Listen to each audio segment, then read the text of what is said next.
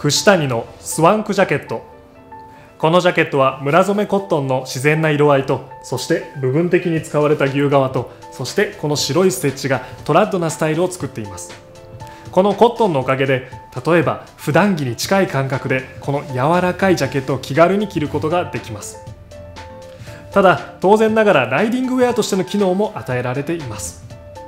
この素材は透湿そして防風そして裏地にはクールマックスが使われています。例えば夏の暑い日でもファッションを忘れることなく仮に汗をかいてもその汗が早く乾いてくれるそういった素材が使われているわけです。肩、肘、背中にはソフトベンチレーションパッドがついています。そして必要に応じて胸にブレストパッドを装着することができます。このスワンクジャケットのもう一つの特徴がこのサイズ調整が可能なツインファスナーです。例えば串谷コネクションを使うことでこのジャケットの中に冬用のインナーを足すことで少し着膨れをしてしまうかも分かりません。そういった場合でもこのツインファスナーの外側を使うことでジャケットに一つのゆとりを持たせることができます。